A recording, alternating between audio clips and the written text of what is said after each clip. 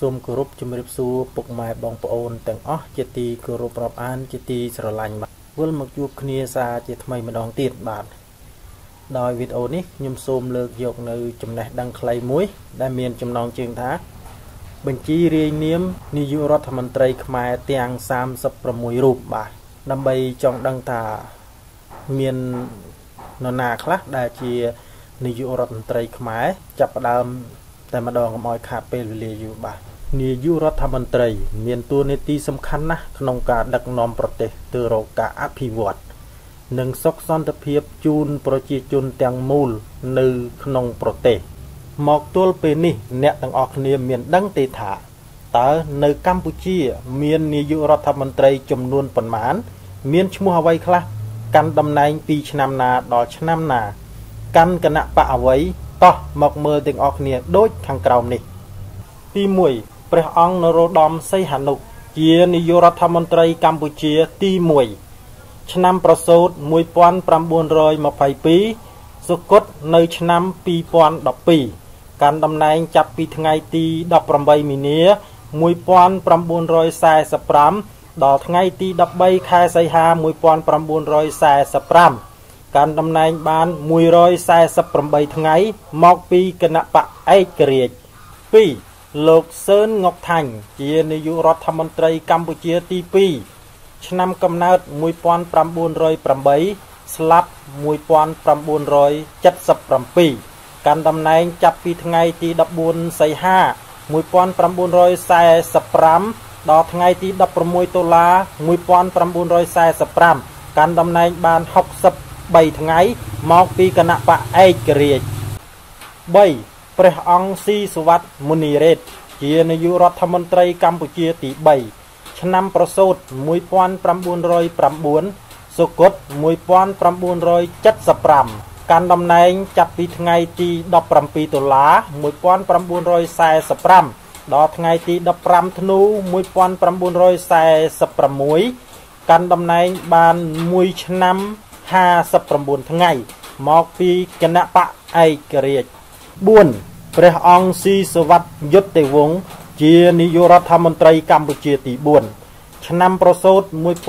1913សុគតឆ្នាំ1947កាន់តំណែងចាប់ពីថ្ងៃទី15ធ្នូ1946ដល់ថ្ងៃទី15កក្កដា1947កាន់តំណែងបាន212ថ្ងៃ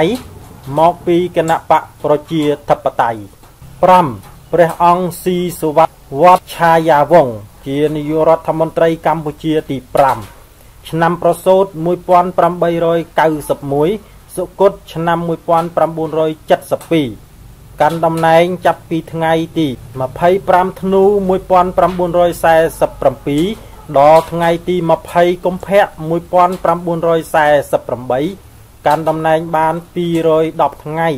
មកពីគណៈបកប្រជាធិបតេយ្យ6លោកឈៀនវ៉មជានាយករដ្ឋមន្ត្រីកម្ពុជាទី6ឆ្នាំកំណើត1916ស្លាប់ឆ្នាំ2000កាន់តំណែងចាប់ពីថ្ងៃទី20កុម្ភៈ1948ដល់ថ្ងៃទី14សីហា1948កាន់តំណែងបាន176ថ្ងៃ មកពីគណៈបកប្រជាធិបតេយ្យ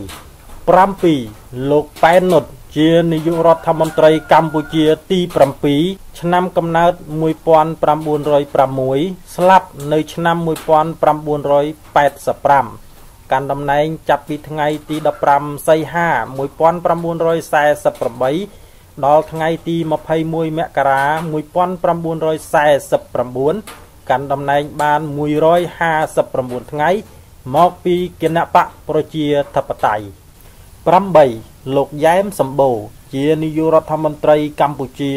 ទី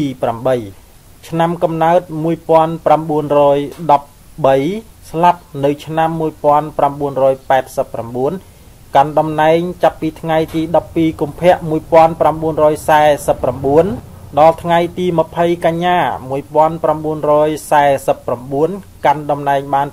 220ថ្ងៃមកពីគណៈបកប្រជាធិបតេយ្យ9លោកអៀវកាសជានាយករដ្ឋមន្ត្រីកម្ពុជា ទី9ឆ្នាំកំណើត1905ស្លាប់1950កាន់តំណែងចាប់ពីថ្ងៃទី20កញ្ញា1949ដល់ថ្ងៃទី29កញ្ញា1949 កាន់តំណែងបាន9ថ្ងៃ មកពីគណៈបកប្រជាធិបតេយ្យ10លោកយ៉ែមសម្បូរជានាយករដ្ឋមន្ត្រីកម្ពុជាទី8កាន់តំណែងលើកទី2ឆ្នាំកំណើត1913ស្លាប់1989កាន់តំណែងចាប់ពីថ្ងៃទី29កញ្ញា1949 ដល់ថ្ងៃទី28មេសា1950កាន់តំណែងបាន211ថ្ងៃ មកពីគណៈបកប្រជាធិបតេយ្យ11ព្រះអង្គនរោត្តមសីហនុជានាយករដ្ឋមន្ត្រីកម្ពុជាទី1កាន់តំណែងលើកទី2ឆ្នាំប្រសូត1922សុគត2012 កាន់តំណែងចាប់ពីថ្ងៃទី28មេសា1950ដល់ថ្ងៃទី30ឧសភា1950កាន់តំណែងបាន32ថ្ងៃមកពីគណៈបកឯករាជ្យ12ព្រះអង្គស៊ីសវັດមុនីពងជានាយករដ្ឋមន្ត្រីកម្ពុជាទី10ឆ្នាំប្រសូត1912សុគត1956 កាន់តំណែងចាប់ពីថ្ងៃទី30ឧសភា1950ដល់ថ្ងៃទី3មីនា1951កាន់តំណែងបាន277ថ្ងៃ មកពីគណៈបកឯករាជ្យ13លោកអ៊ុំឈៀងស៊ុន ជានាយករដ្ឋមន្ត្រីកម្ពុជាទី11កាន់តំណែងលើកទី1ឆ្នាំកំណើត1900ស្លាប់នៅឆ្នាំ1963 កាន់តំណែងចាប់ពីថ្ងៃទី13តុលា1951ដល់ថ្ងៃទី16មិថុនា1952កាន់តំណែងបាន247ថ្ងៃមកពីគណៈបកប្រជាធិបតេយ្យ14លោកហ៊ុយកន្ធុលជានាយករដ្ឋមន្ត្រីកម្ពុជាទី12ឆ្នាំកំណើត1909 ស្លាប់នៅឆ្នាំ1991កាន់តំណែងចាប់ពីថ្ងៃទី13តុលា1951ដល់ថ្ងៃទី16មិថុនា1952កាន់តំណែងបាន247ថ្ងៃមកពីគណៈបកប្រជាធិបតេយ្យ15ព្រះអង្គនរោត្តមសីហនុជានាយករដ្ឋមន្ត្រីកម្ពុជាទី1កាន់តំណែងលើកទី3 ឆ្នាំប្រសូត1922សគត់នៅឆ្នាំ2012កាន់តំណែងចាប់ពីថ្ងៃទី16មិថុនា1952ដល់ថ្ងៃទី24មករា1953កាន់តំណែងបាន222ថ្ងៃមកពីគណៈបកឯករាជ្យ16លោកប៉ែននុតជានាយករដ្ឋមន្ត្រីកម្ពុជាទី7 កាន់តំណែងលើកទី2ឆ្នាំកំណើត1906ស្លាប់1985កាន់តំណែងចាប់ពីថ្ងៃទី9វិច្ឆិកា1953ដល់ថ្ងៃទី22វិច្ឆិកា1953កាន់តំណែងបាន13ថ្ងៃមកពីគណៈបកប្រជាធិបតេយ្យ17លោកច័ន្ទណាជានាយករដ្ឋមន្ត្រីកម្ពុជាទី13 ឆ្នាំកំណើត1892ស្លាប់1954កាន់តំណែងចាប់ពីថ្ងៃទី23វិច្ឆិកា1953ដល់ថ្ងៃទី7មេសា1954កាន់តំណែងបាន135ថ្ងៃមកពីគណៈបកឯករាជ្យ18ព្រះអង្គនរោត្តមសីហនុជានាយករដ្ឋមន្ត្រីកម្ពុជាទី1 កាន់តំណែងលើកទី4ឆ្នាំប្រសូត1922សុគតនៅឆ្នាំ2012កាន់តំណែងចាប់ពីថ្ងៃទី7មេសា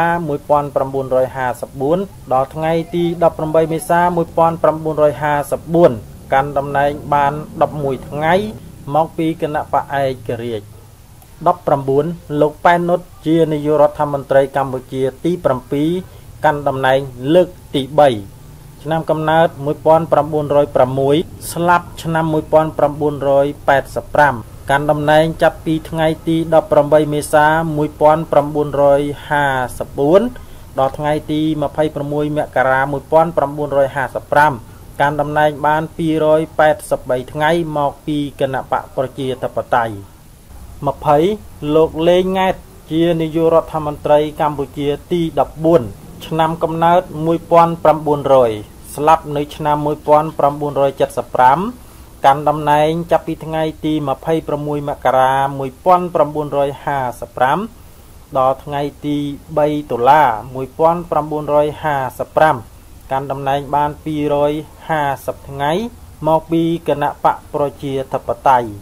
21ព្រះអង្គនរោត្តមសីហនុ ជានាយករដ្ឋមន្ត្រីកម្ពុជាទី1កាន់តំណែងលើកទី5ឆ្នាំប្រសូត1922សុគតឆ្នាំ2012កាន់តំណែងចាប់ពីថ្ងៃទី3តុលា1955ដល់ថ្ងៃទី5មករា1956កាន់តំណែងបាន94ថ្ងៃមកពីគណៈបកសង្គមរាស្ត្រនិយម22លោកអ៊ុំឈៀងសុន ជានាយករដ្ឋមន្ត្រីកម្ពុជាទី11កាន់តំណែងលើកទី2ឆ្នាំកំណើត1900ស្លាប់នៅឆ្នាំ1963កាន់តំណែងចាប់ពីថ្ងៃទី5មករា1956 ដល់ថ្ងៃទី29កុម្ភៈ1956កាន់តំណែងបាន55ថ្ងៃមកពីគណៈបកសង្គមរាស្ត្រនិយម23ព្រះអង្គនរោត្តមសីហនុជានាយករដ្ឋមន្ត្រីកម្ពុជាទី1កាន់តំណែងលើកទី6ឆ្នាំប្រសូត1922សុគតនៅឆ្នាំ2012កាន់តំណែងចាប់ពីថ្ងៃទី1មីនា1956 ដល់ថ្ងៃទី24មីនា1956កាន់តំណែងបាន23ថ្ងៃ មកពីគណៈបកសង្គមរាស្ត្រនិយម24លោកខឹមទឹកជានាយករដ្ឋមន្ត្រីកម្ពុជាទី15ឆ្នាំកំណើត1896ស្លាប់នៅឆ្នាំ1975កាន់តំណែងចាប់ពីថ្ងៃទី3មេសា1956 ដល់ថ្ងៃទី29កក្កដា1956កាន់តំណែងបាន117ថ្ងៃ មកពីគណៈបកសង្គមរាស្ត្រនិយម24ព្រះអង្គនរោត្តមសីហនុជានាយករដ្ឋមន្ត្រី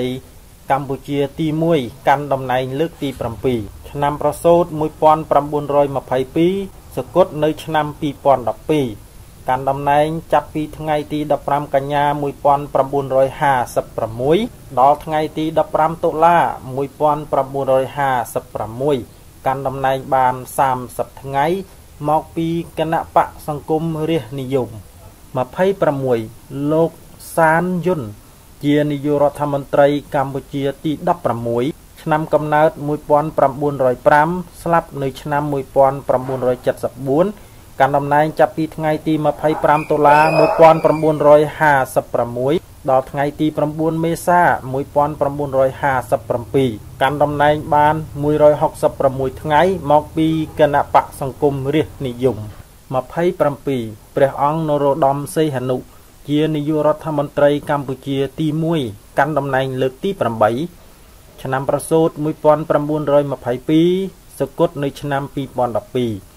កាន់តំណែងចាប់ពីថ្ងៃទី9មេសា1957ដល់ថ្ងៃទី7កក្កដា1957កាន់តំណែងបាន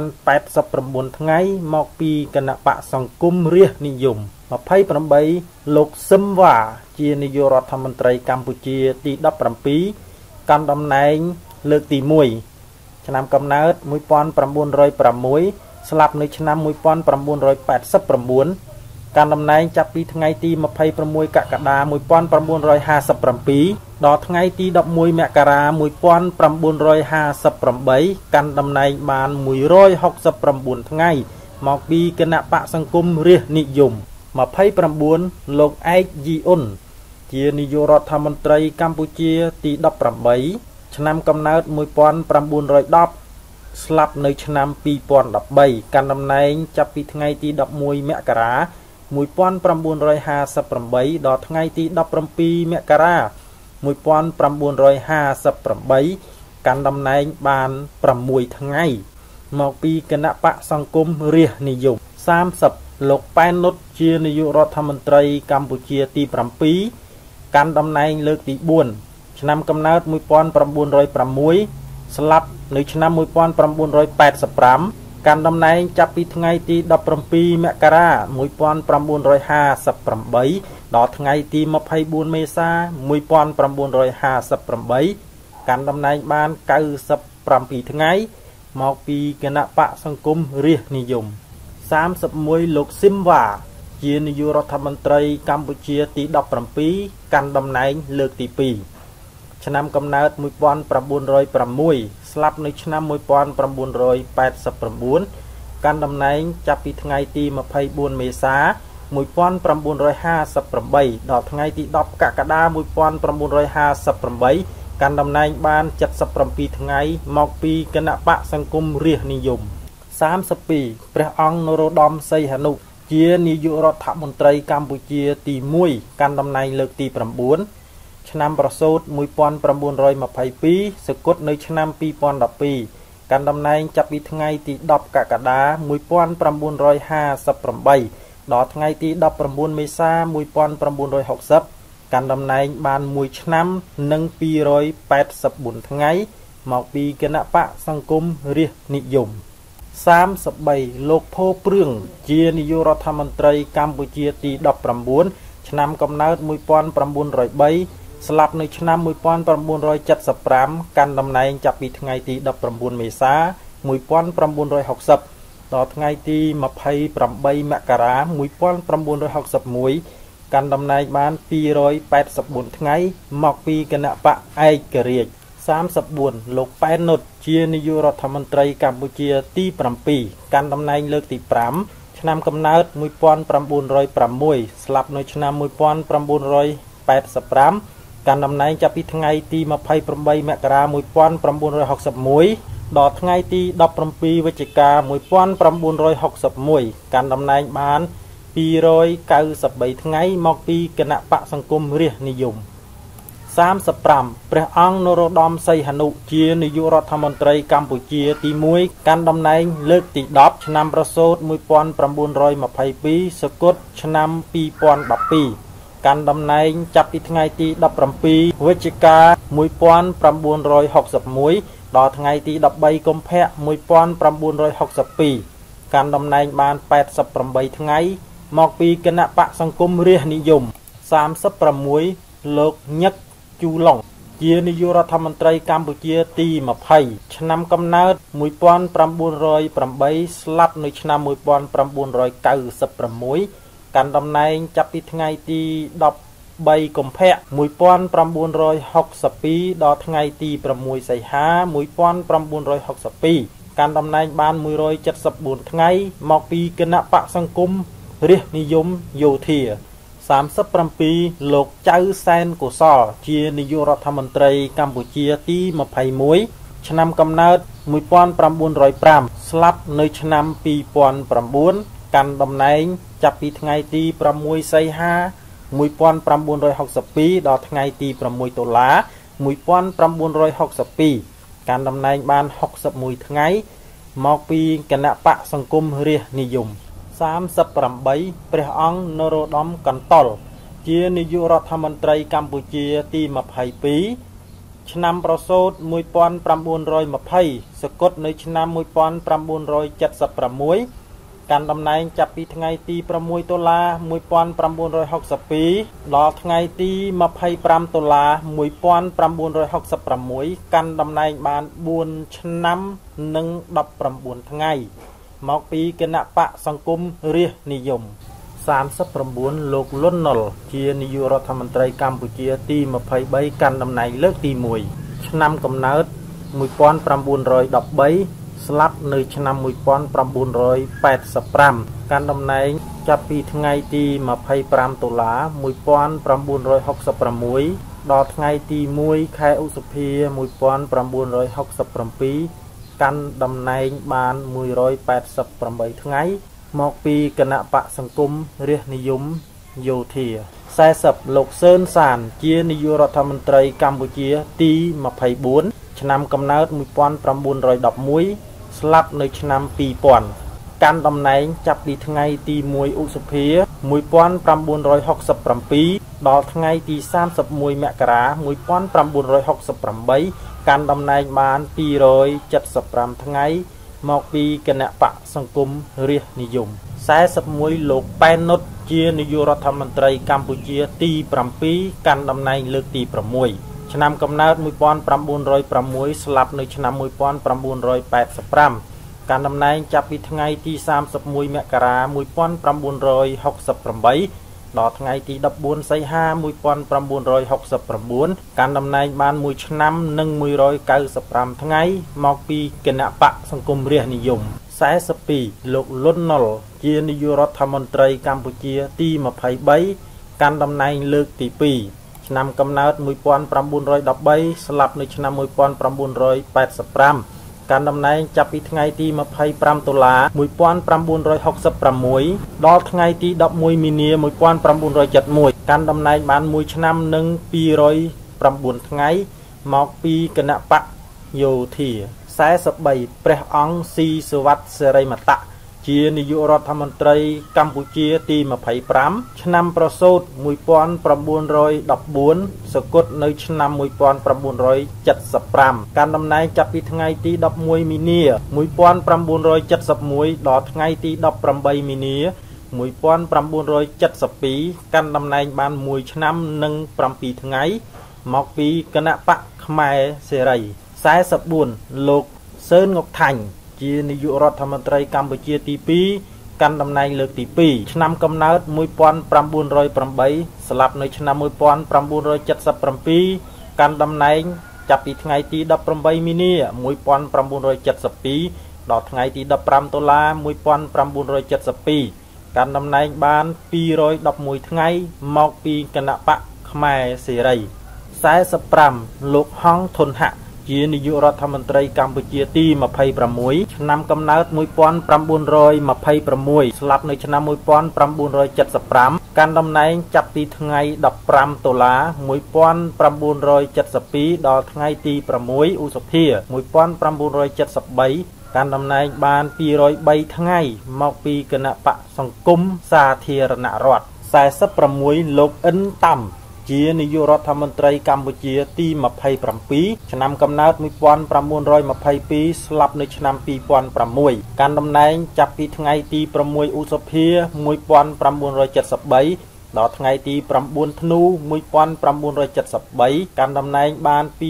217ថ្ងៃមកពីគណៈបកប្រជាធិបតេយ្យ47លោកឡុងបូរ៉េត ជានាយករដ្ឋមន្ត្រីកម្ពុជាទី28ឆ្នាំកំណើត1933ស្លាប់នៅឆ្នាំ1975ការតំណែងចាប់ពីថ្ងៃទី26ធ្នូ1973ដល់ថ្ងៃទី17មេសា1975ការតំណែងបាន1ឆ្នាំនិង129ថ្ងៃមកពីគណៈបកសង្គមសាធារណរដ្ឋ 48លោកប៉ែននុតជានាយករដ្ឋមន្ត្រីកម្ពុជាទី7កាន់តំណែងលើកទី7ឆ្នាំកំណើត1906ស្លាប់នៅឆ្នាំ1985កាន់តំណែងចាប់ពីថ្ងៃទី17មេសា1975ដល់ថ្ងៃទី4ខែមេសា1976កាន់តំណែងបាន353ថ្ងៃមកពីគណៈបករណសេជាតិ 49លោកហ៊ីវសំផន ជានាយករដ្ឋមន្ត្រីកម្ពុជាទី29ឆ្នាំកំណើត1931នៅរស់បច្ចុប្បន្នកាន់តំណែងចាប់ពីថ្ងៃទី4មេសា1976ដល់ថ្ងៃទី14មេសា1976កាន់តំណែងបាន10ថ្ងៃមកពីគណៈបក កុម្មុយនីសកម្ពុជា50លោកប៉ុលពត ជានាយករដ្ឋមន្ត្រីកម្ពុជាទី30កាន់តំណែងលើកទី1ឆ្នាំកំណើត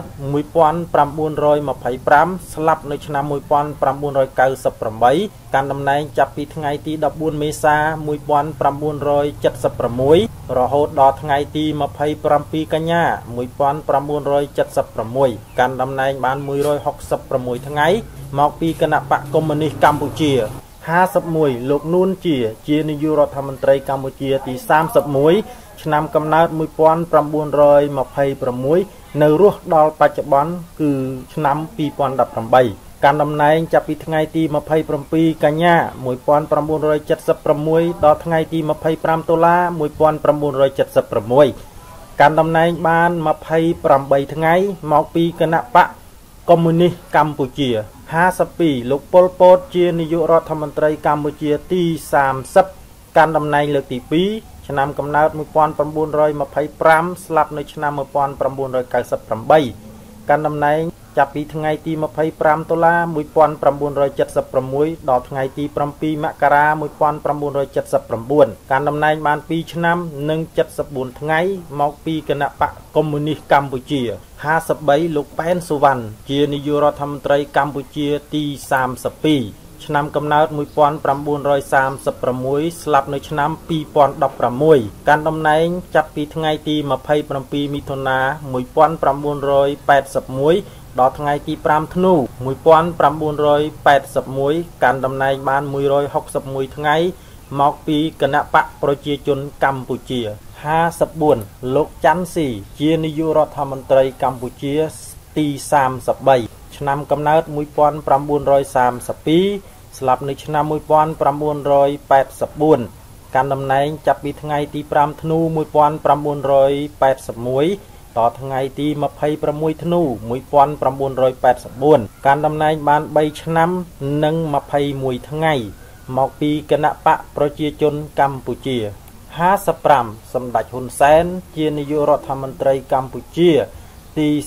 34កាន់តំណែងលើកទី1ឆ្នាំកំណើត1952នៅរស់បច្ចុប្បន្នគឺឆ្នាំ2018 កាន់តំណែងចាប់ពីថ្ងៃទី14មករា1955ដល់ថ្ងៃទី2កក្កដា1993កាន់តំណែងបាន8ឆ្នាំនិង169ថ្ងៃ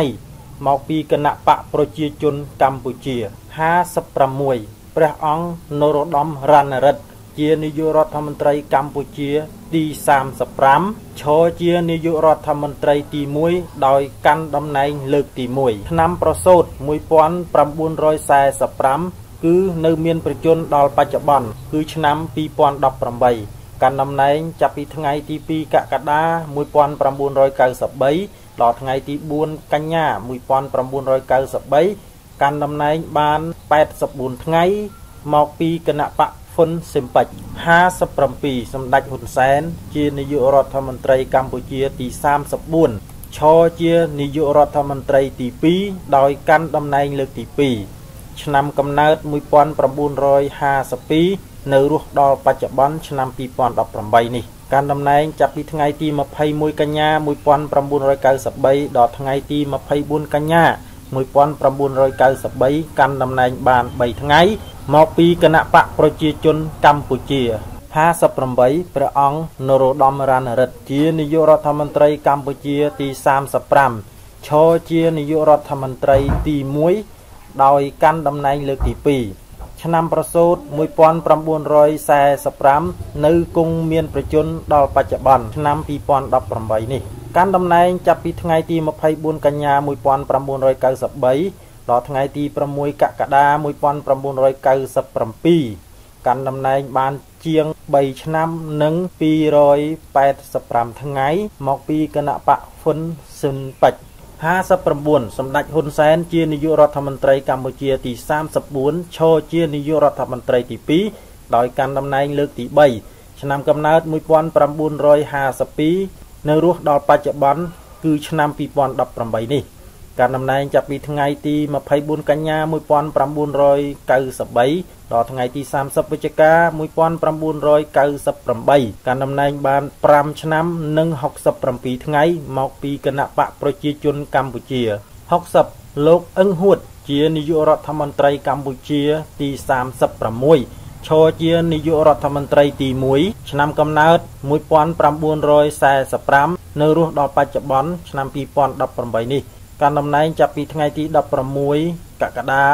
1900 93ដល់ថ្ងៃទី30វិច្ឆិកា1998កាន់តំណែងបាន1ឆ្នាំនិង137ថ្ងៃមកពីគណៈបកហ៊ុនស៊ិមពេច61សម្ដេចហ៊ុនសែន ជានាយករដ្ឋមន្ត្រីកម្ពុជាទី34កាន់តំណែងលើកទី4ឆ្នាំកំណើត1952 និងនៅរស់ដល់បច្ចុប្បន្នគឺឆ្នាំ2018នេះកាន់តំណែងចាប់ពីថ្ងៃទី30វិច្ឆិកា1998កាន់តំណែងបានជាង18ឆ្នាំ មកពីគណៈបកប្រជាជនកម្ពុជា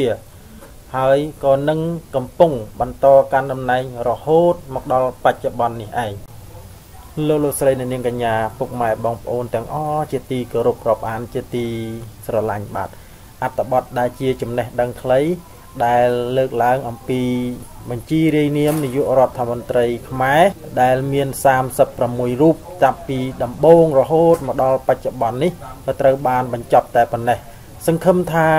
វីដេអូនេះ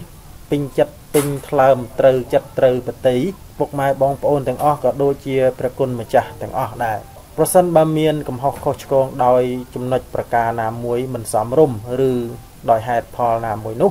សូមអធិស្ឋានផងបាទសូមអរគុណសូមគោរពលា